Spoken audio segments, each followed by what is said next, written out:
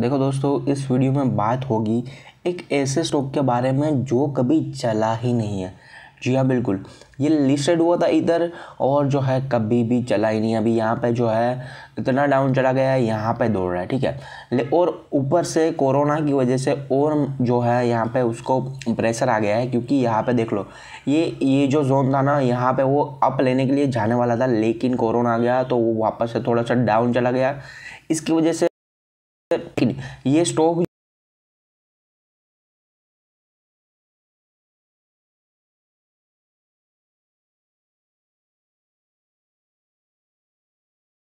जो है, अगर अभी जो है, वो करीब करीब ढाई सौ रुपीज़ के आसपास चल रहा है, ठीक है? ढाई सौ रुपीज़ के आसपास चल रहा है, लेकिन उसका लो बहुत नीचे था। मैं आपको सब कुछ दिखा दूँगा उससे पहले आप एक बार ये सोचो कि कोई भी अगर यहाँ पे सेवन हंड्रेड या एट हंड्रेड के पास होगा तो वो क्या करेगा अभी? मेरे हिसाब से अभी आपको क्या करना है, क्या नहीं करना है, वो सब कुछ मैं आपको स्ट्रेटेजी दिखा दूँगा आगे। अभी जो है वो स्टॉक का चार्ट देख लेते एक बार। तो ये देखो दोस्तों, ये जो चार्ट है ना, वो भी आपको दिखा रहा है कि थोड़ा सा ग्रीन में है। लेकिन अगर आप थोड़ा सा ब्रॉड व्यू देखोगे तो मैं आपको दिखा देता हूँ, यहाँ पर वन मंथ में सिक्स मंथ में ईयर टिल मिनट में आपको सब कुछ जो है सेम लगेगा, बिल्कुल अच्छा लगेगा। लेकिन अगर यहाँ पे, अगर आप सिक्स मंथ में देखो तो क्या होगा, आपको फिफ्टी परसेंट का मुनाफा। टिल डेट देखो आप देख लो कि हंड्रेड परसेंट का प्रॉफिट आपकी जेब में जा रहा है। लेकिन अगर मैं आपको बोलूँ कि यहाँ में मैक्स चार्ट अगर आप देखोगे तो आपको पता लगेगा कि कितना नुकसान हुआ है, कितना लॉस हुआ है लोगों का। यहाँ पे देख लो, कौन सा लेवल था? 800 का लेवल ठीक है, यहाँ पे देख लो 796 820 के अराउंड जो है इसने हाई मार दिया था, लेकिन अभी कहाँ पे दौड़ रहा है? 63 परसेंट डाउन यानी कि यहाँ पे देख सकते हो आप फोर हंड्रेड रुपीज़ भी डाउन चल रहा है अभी भी। तो ये मौका है आपको खरीदने का, क्योंकि यहाँ पे क्या है कि जो लेवल होते हैं ना, ये कंसोलिडेशन जोन है ना, बहुत ही बड़ा है। क्योंकि यहाँ पे अगर ये लिस्टेड हुई है तो कुछ कंपनी में होगा तभी लिस्टेड हुई है। और ऊपर से यहाँ पे जो है ना, बहुत ही बड़े बड़े जो होते हैं ना, उसको जो है यहाँ पे प्रॉब्लम हो गई थी इस जोन में। सॉरी तो उसकी वजह से यहाँ पे अगर आप देखोगे तो ए ट्वेंटी का लेवल था और जो है ऊपर जा रहा था, लेकिन जो है कंपनी में थोड़ा सा जो है लॉस होना चालू हो गया था। तो उसकी वजह से अगर यहाँ पे आप देखोगे तो लॉस हो रहा था, लेकिन यहाँ पे क्या हुआ कि कंसोलिडेशन चालू होने वाला था, लेकिन क्या हुआ था भाई कि कोरोना आ गया था। तो कोरोना की वजह से लेदर जो थे, वो बिल्कुल जो है मतलब कम ही यूज़ होते थे, क्योंकि यहाँ पे नीडेड वस्तु थी नीडेड चीज़ें थी, वही चल रही थी फार्मा चल रहे थे ड्रग्स वगैरह चल रहे थे, वही चल रहा था, और कुछ नहीं चल रहा था। तो सबकी जो पैसनेट होती है चीज़ें, वो सब कुछ जो है,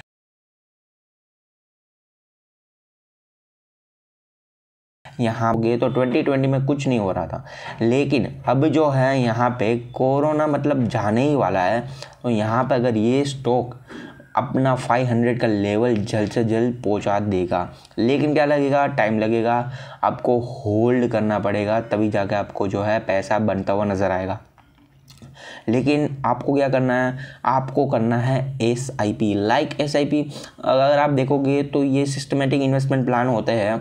तो वो लोग क्या करते हैं? वो लोग वही करते हैं जो आपको करना चाहिए, वो लोग इन्वेस्ट करते हैं, लेकिन आप इन्वेस्ट करो। आप क्या करना है? आप, अगर आप यहाँ पे वन लाख रुपीज़ लगाना चाहते हो तो आपको ट्वेंटी फाइव ट्वेंटी फाइव करके आपको लगाना है।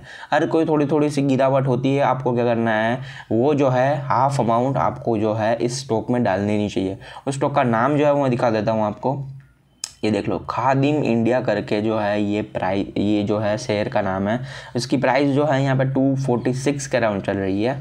आपको क्या करना है, इसमें इन्वेस्ट करना चालू कर देना है। मैं आपको उसका स्क्रीनर ले, लेके जाता हूँ। तो अगर यहाँ पे देखोगे तो खादिम इंडिया लिमिटेड है, वो जो फुटवेयर्स में, जो है लेदर्स में काम करती है। यहाँ पे अगर आप देखोगे तो मैं आपको जो इसके लिंक दे दूँगा, आप जाके देख सकते हो कि बड़ी बड़ी ब्रांड्स हैं। उनकी कई सारी ब्रांड्स हैं छोटे छोटे बच्चों के लिए, बड़े लोगों के लिए जो है, बहुत ही ज़्यादा ब्रांड्स है उसकी। लेकिन अगर यहाँ पर क्या है कि अगर आप देखो, थोड़ा ब्रॉड व्यू अगर आप अपना रखते हो तो आपको यहाँ पर इन्वेस्टेड रहना चाहिए। क्योंकि यहाँ पर देख लोगे तो थ्री सिक्सटी का फिफ्टी टू वीक हाई अभी लगा लगा के आया है और अभी यहाँ पे टू फोर्टी सिक्स पे चल रहा है। लेकिन अब जो है डाउन साइड मुझे नज़र नहीं आता। यहाँ पे अगर देखो, यहाँ पे देख लो, क्या हुआ है कि यहाँ पे इतना जो है डाउन हो चुका है और जो है यहाँ पे थोड़ा सा जंप मार चुका है। तो यहाँ पे अभी क्या है कि तो जो कंसोलिडेशन होगा। आप यहाँ पे जो है अपना स्टॉप लॉस वगैरह क्या रखोगे, क्या नहीं रखोगे, वो सब कुछ मैं आपको दिखा दूँगा। लेकिन यहाँ पे जो है प्रोज नहीं है, बिल्कुल नहीं। लेकिन ये प्रोज जो है जल्द से जल्द हो जाए कोई दिक्कत वाली बात नहीं है। लेकिन एक अपॉर्चुनिटी इसमें ये है कि कंपनी के जो प्रोमोटर की जो होल्डिंग है, मैं आपको दिखा देता हूँ।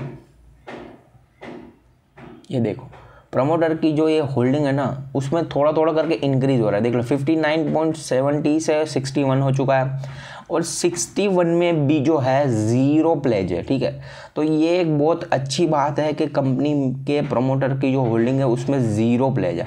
तो वो एक आपको जो है प्लस पॉइंट लेके जा सकते हो आप।